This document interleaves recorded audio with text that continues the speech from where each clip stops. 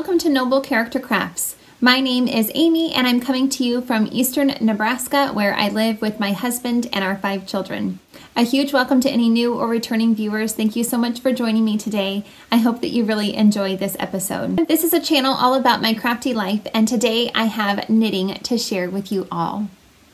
You can find me online on Instagram and Etsy at Noble Character Crafts and you can get in contact with me through my email at noblecharactercrafts at yahoo.com. I will have links to the places that you can find me in the description box below, as well as the show notes for this episode. I'm hosting a year-long make-along on Instagram called the Make 9 2022 MAL, and that is for you to join in the Make 9 Challenge where you can choose nine projects that you would like to make this year and post a grid of those projects to Instagram. And then anytime that you work on one of those projects, you can post a picture of your progress or any finished objects and continue to use that hashtag Make92022Mal. And you will be entered to win a prize, which I draw periodically throughout the year. Today, I'm going to give away two more prizes. So if you have been joining in in the make along, maybe you will be chosen. The first prize is again courtesy of Lindsay of Always Yarn First. She sent over many goodies for me to share with you all at the beginning of the year.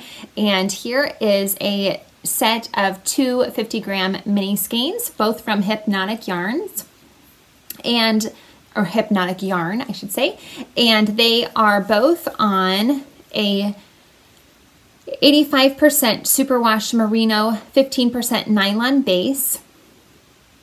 This one is called Strawberry Finch, and it has a label on here which says IC September 2021. I'm not sure what that means, but it must have been some sort of a special club or something like that. And as you can see, there's 220 yards, 50 grams for each of these. The second one is called Nigeria, and that's from July of 2021.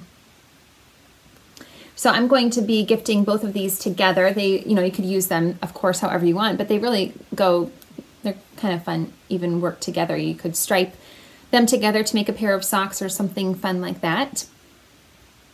And the winner of these two mini skeins is Gabriella, who is at Gabriella Kren on Instagram. Congratulations to you, Gabriella. If you could please get in contact with me either through email or through instant or direct message on Instagram and let me know your full name and mailing address. I'll be so happy to get these off in the mail to you as soon as possible. And the second gift is a prize that I had announced a couple of episodes ago, but I never received um, I never received a message from the winner. So I'm going to try to re-gift this skein of yarn this one is from Destination Yarn and it is on a 75% superwash merino wool, 25% nylon base, and the colorway is called Tide Pool. And the winner of this is um, on Instagram, her username is Butterfly Bear double zero. So congratulations to you. I won't say your name, but I know who you are, but she doesn't list her actual name on her Instagram profile, so I won't announce that, but she has one before and I know who she is. So congratulations to you.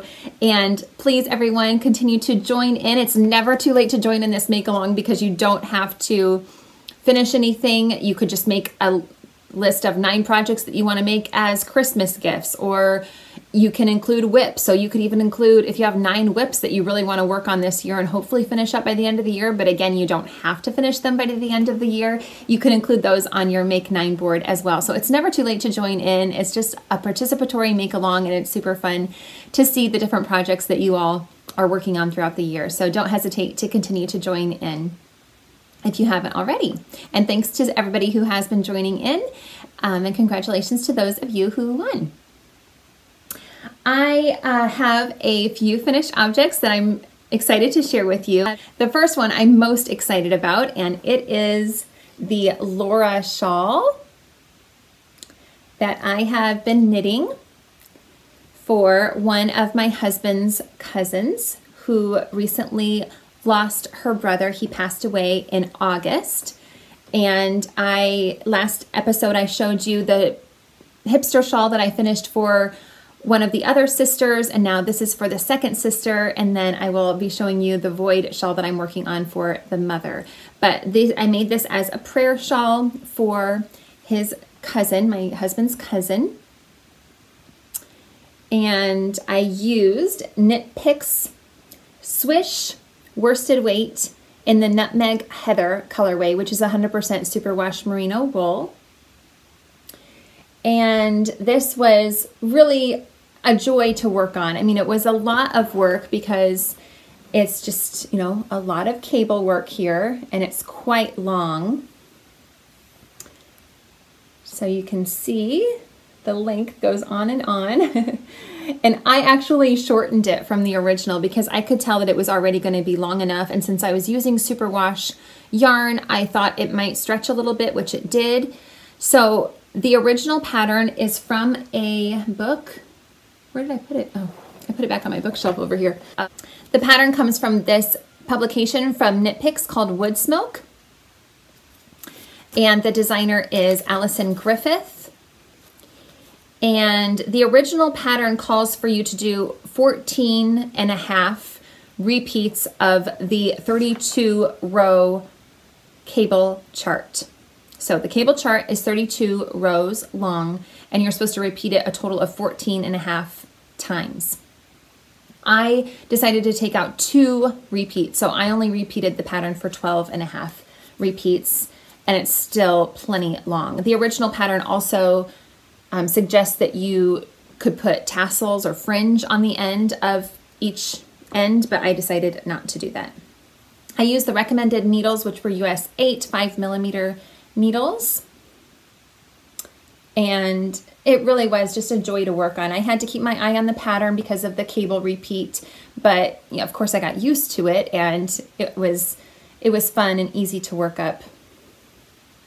Really. I mean, easy in that I mean, I got used to it, but I did have to keep my eye on the pattern, so it wasn't mindless by any means. But anyway, I just think the cable pattern is so gorgeous.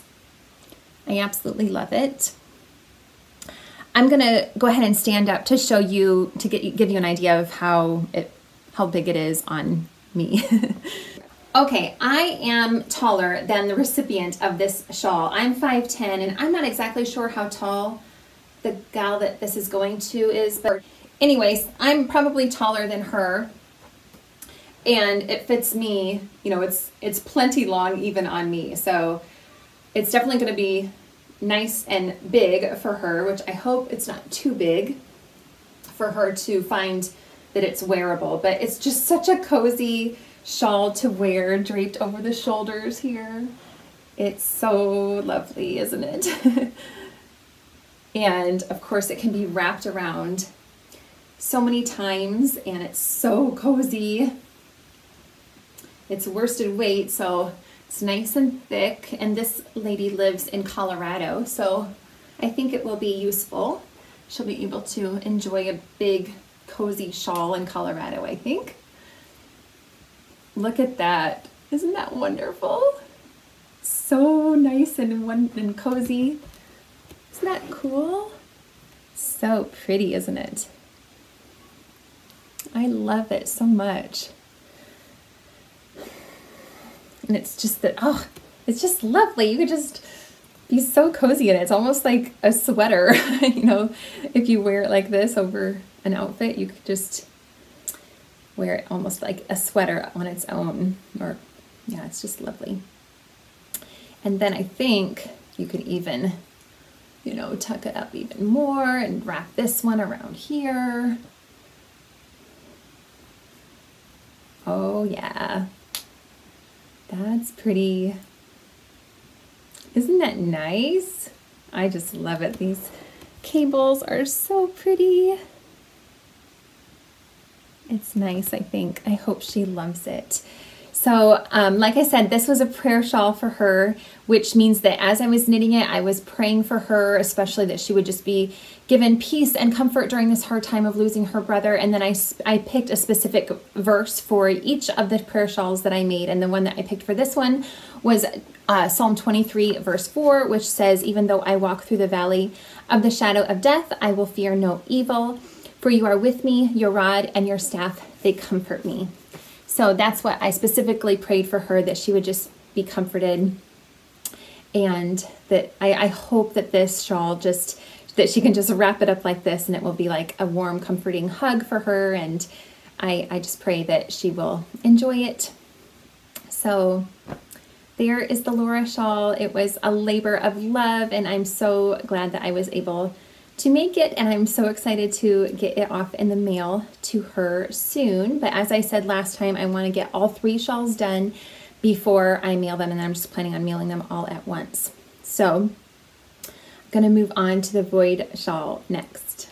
I'm just to stay kneeling down here while I show you off show off this shawl because actually the void shawl is done too, but I'm not happy with how it turned out and I need to fix it.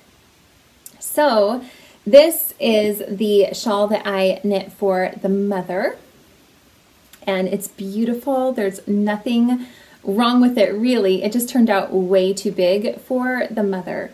So it's gorgeous. It's just absolutely stunning. I absolutely love this pattern.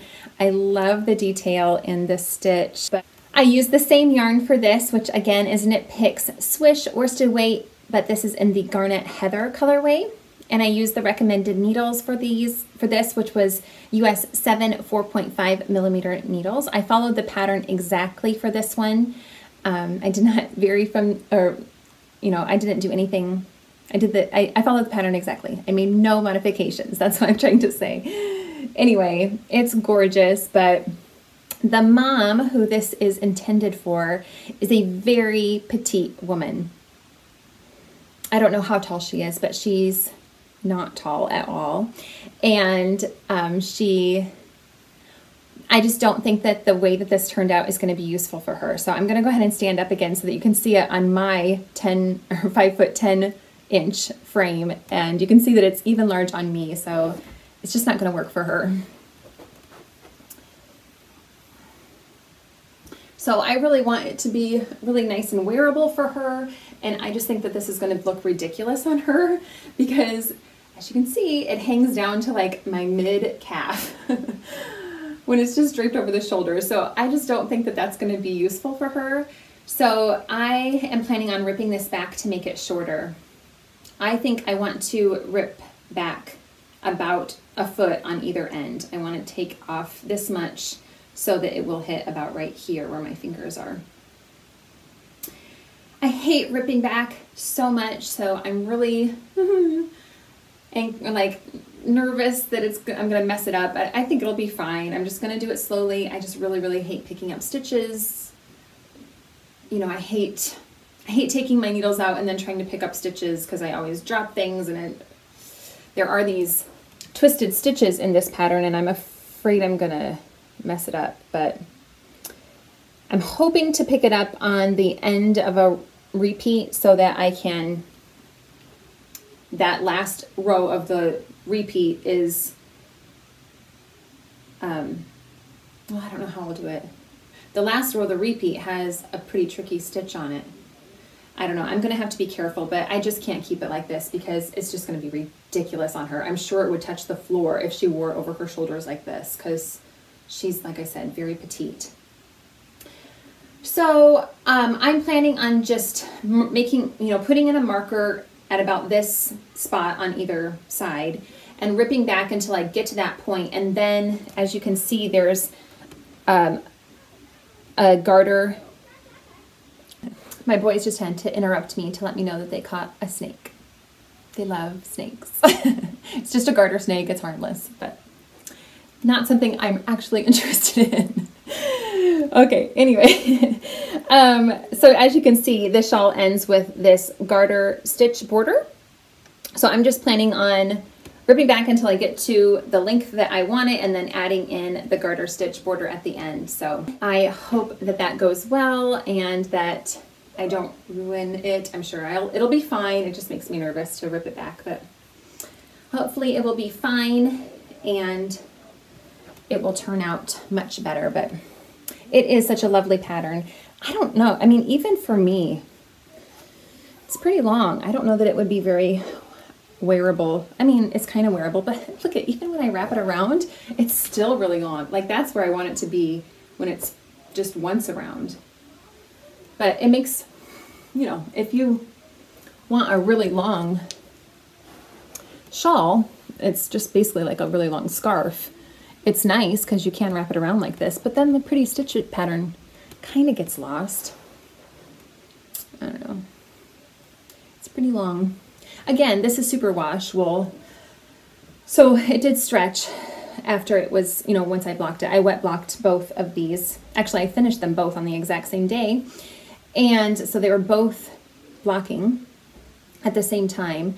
And anyway, I did wet block them. I did not stretch either one of them out. I just laid them flat pretty much. I pinned the top of this one just so it would lay straight across the top.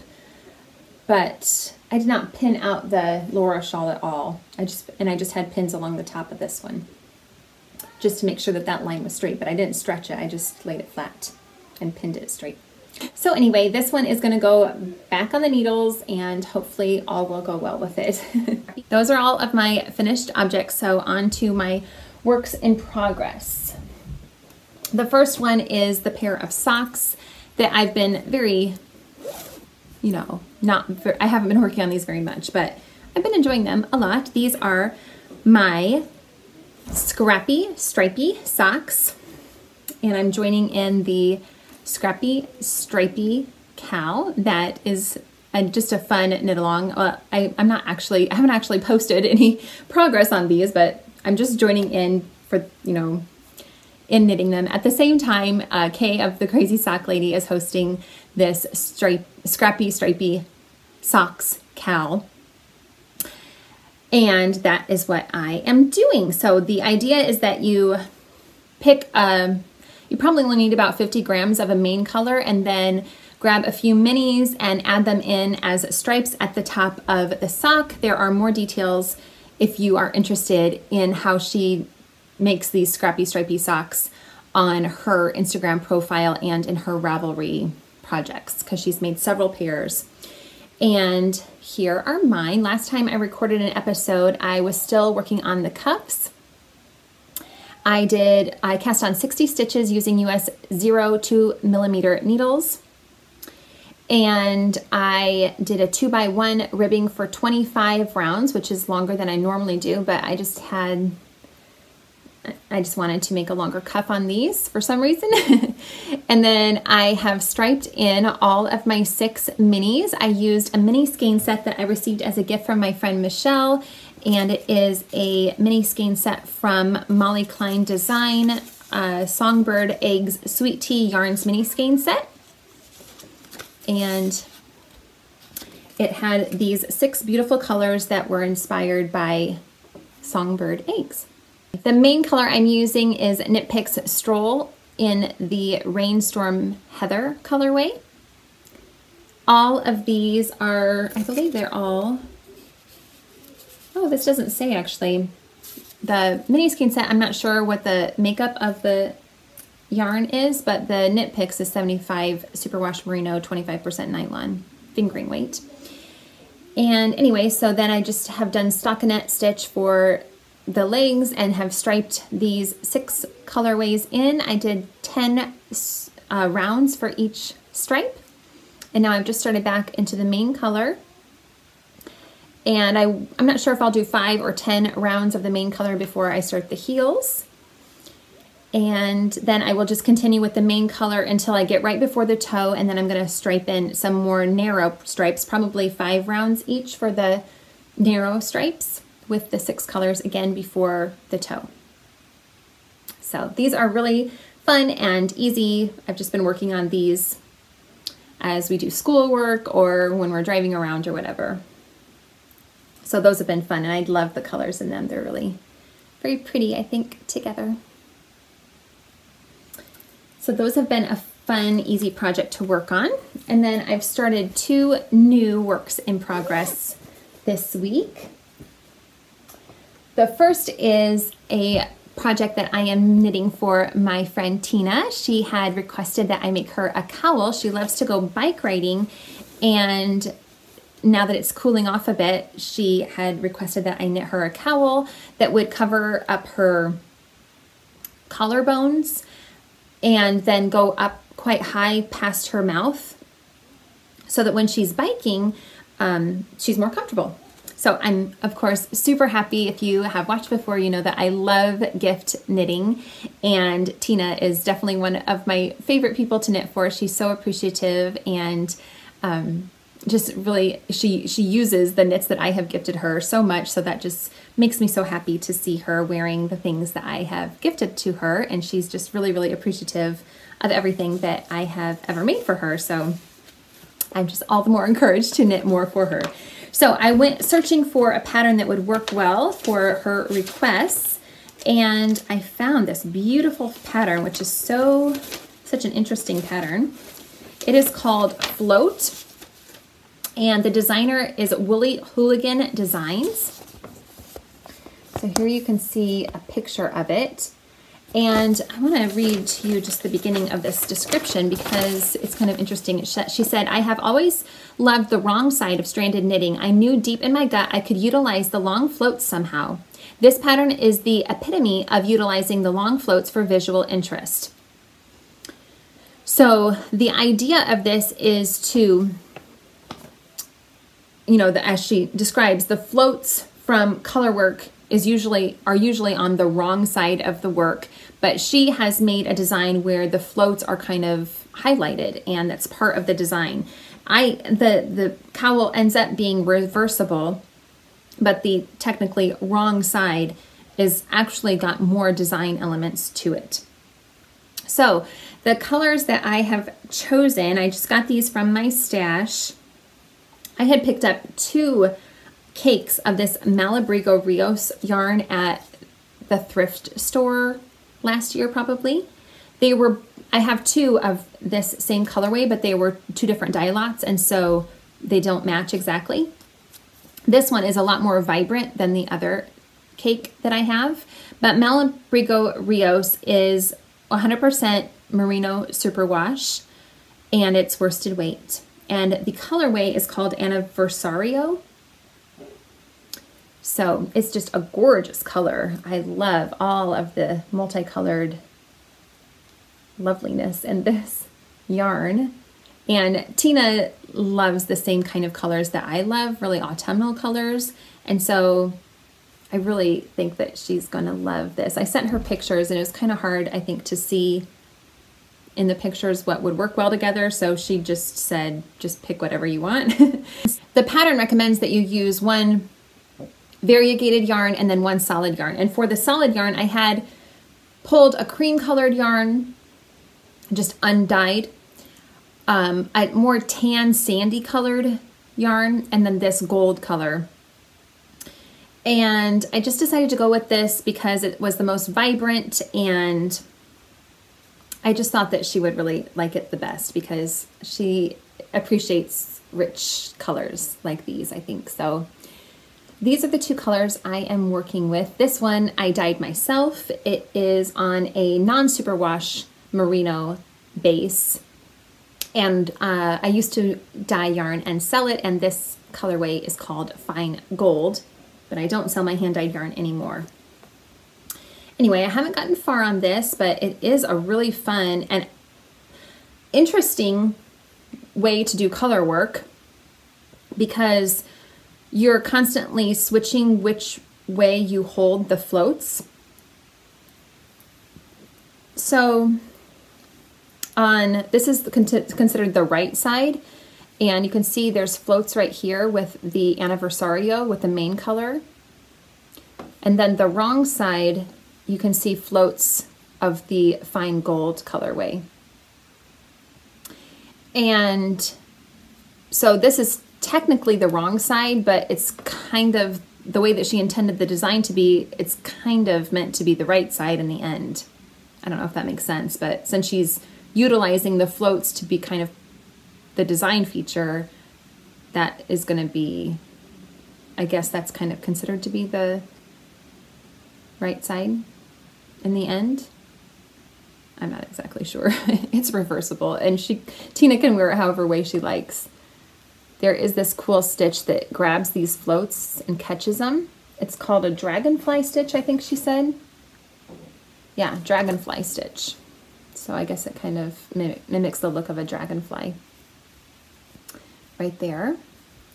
But anyway, I am really enjoying these. These are both worsted weight yarns and I'm using the recommended needles, which are US 7 4.5 millimeter needles. And I hope it will work out well. I'm going to make the neck, the, yeah, the neck part a little bit longer so that it will go up past Tina's mouth. And otherwise I'm planning on following the pattern I don't plan on making any other modifications, so we'll see how it goes, but I'm really enjoying it and I love how it's looking so far. I think it's really cool. So I hope you love it too, Tina. It's a joy to work on. I love working on it so far. So that is great.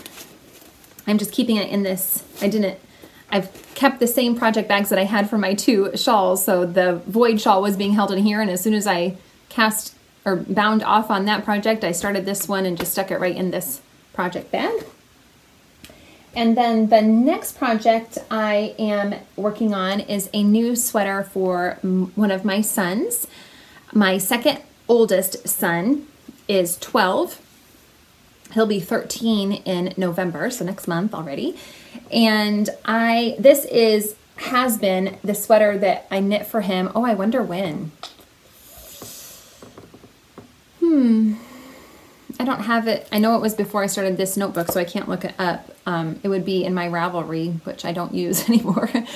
um, but anyway, I am guessing that I knit it in 2017, but that's just a guess. Maybe 2018. Anyway, it's several years old. And I had made it extra big for him. So when I first knit it, it was really too big for him. And last year he still wore it, but you could tell it was getting a little bit too short in the arms. And he's pretty thin, so it wasn't really tight on him, but a little short in the waistline as well. Anyway, I could just tell that it was time for him to get a new sweater. So I've started working on a new sweater for him for this upcoming, I want to get it done for him so he can wear it um, this upcoming you know, winter. And he is probably the one of all of my children really who loves to wear his sweater the most. So he's this has gotten a ton of wear out of it. He wore it almost every Sunday to church throughout the winter, lots lots of times. Um, he is just more apt to want to wear his sweater than anybody else. So every all of my kids have at least one sweater that I've knit for them that they can wear to church or anywhere nice. I try to keep them for nice, not just everyday use. Because otherwise it would be covered in mud and sticky burrs from our forest and things. It would be ruined very quickly. Anyway, so he's just really very excited to wear the sweaters that I've knit for him. So I'm excited to make him a new one. Now the yarn that I used for this is Lion Brand Heartland. And I think this was called Joseph's Tree or, hmm, Joseph something, I think. Joshua, no, Joshua Tree it was called. So anyway, that was this. Oh, and this is the Wyatt sweater by Michelle Wang, which I have knit several of this sweater for my children. At least three or four maybe. I can't quite remember, but anyway, yeah, four I've made anyway, so this um, was his sweater, and uh, or it um, the Lion Brand Heartland is 100% acrylic, but it's just held up really nicely, and I have, you know, it just works really well for him. He can be a bit messy when he eats and things, so it really needs to be something that I can easily just wash and not worry about him wearing and ruining. So I've kept with that same yarn because I can't remember where I got all of this yarn from. I know I got some of it from a thrift store. I'm not sure if I got it all from a thrift store or if maybe I was gifted some of it. It might, I think maybe, maybe one of these balls is from Tina again because she had gifted me a bunch of her stash of yarn and maybe some of this is from her. I can't quite remember, but anyway, I have a total of five skeins of this same yarn, Lion Brand Heartland. But I have it in three different colorways. I have two in this charcoal gray color, which is called Great Smoky Mountains. And these are worsted weight. I have two in this deep green color, which is so gorgeous. I love this color. This is called King's Canyon. And then I only have one skein of this beautiful teal. This one is called Glacier Bay. The sweater that I am knitting is called Knits for Everybody Sweaters by Katie Banks. And this pattern is what it says. It is, it has from newborn to men's. I don't know how big it, probably 3X or 4X in men's, I'm guessing. It has a, obviously an enormous range of sizes and it also comes with directions for both fingering weight or worsted weight. So that's great. The um, designer is Katie Banks and I bought it on the Knit Picks website. I am making the men's small size for my son and I am striping in these three colorways. So since I have the most of the gray and the green, I am using them more obviously and then the teal color I am using the least.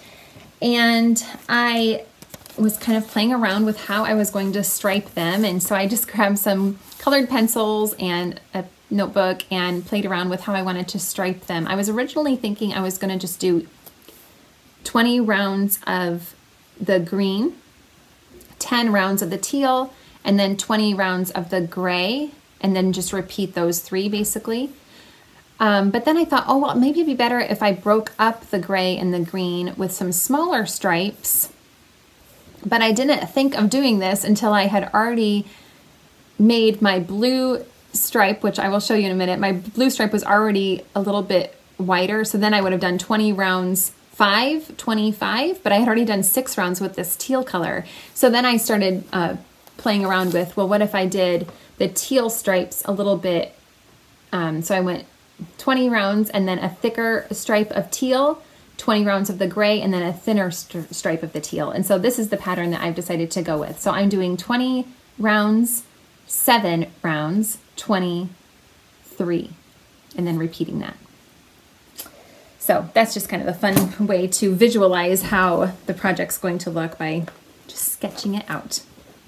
So I have started, it is knit top down, and it starts with just some neck shaping. So I started with the green and did 20 rounds, as I've said. I did make a mistake in reading the pattern wrongly where I was making a few too many increases on the neck edging here at the very beginning. But I just kind of fudged it and because I was supposed to do some increases later on and so I just stopped doing increases and then didn't do as many increases later on and I'm hoping it will be just fine. I'm at the right stitch count now so I did just mess up at the very beginning but I'm hoping it won't be a problem. Anyway, I'm just doing raglan increases, so it's a very simple sweater, and that's what I was looking for was just a really simple sweater. Since it's gonna be striped, it's gonna be busy enough, I think, with the stripes in there that I just wanted a super simple sweater. It's knit at a pretty tight gauge for worsted weight. It calls for 20 stitches to four inches, which I think is pretty tight for a worsted weight, but I was able to get gauge, amazingly enough, using the recommended needles, which are US, oops, stopper on there that popped off, a US 4 point, no, a US 5 3.75 millimeter needles. All of the needles that I use are ChiaoGoo, by the way. So I've just started using that charcoal color. Oh, so I, again, I did 20 rows with the green, and then I did seven rows with the teal, and I'm gonna do 20 rounds with the charcoal. I just joined in the round this morning and I've just done a few, well, about an inch, I guess, almost, in the round. So now it's super easy because there for a while it was knit back and forth. And I didn't, I usually size down for my purl rows, but I didn't, and I think I'm okay. I was really trying to concentrate on making my purl stitches tighter and I think it looks all right.